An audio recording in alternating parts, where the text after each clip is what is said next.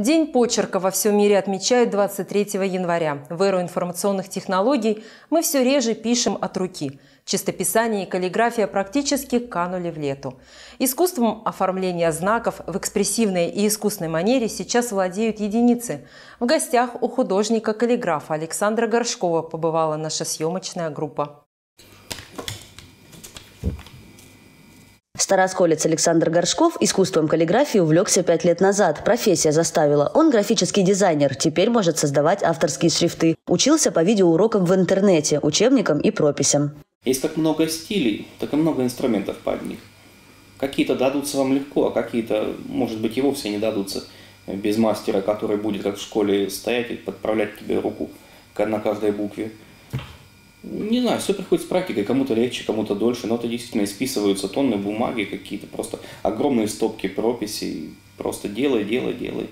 Почерк – наше все, по нему можно составить психологическую характеристику человека, буквами можно выразить себя и рисовать. Александр каллиграфию на бумаге превращает в живопись. В картины и иллюстрацию он обязательно добавляет слова. Мастер уверен, что каллиграфия – это бесконечный рост, ведь одну букву можно учить несколько лет.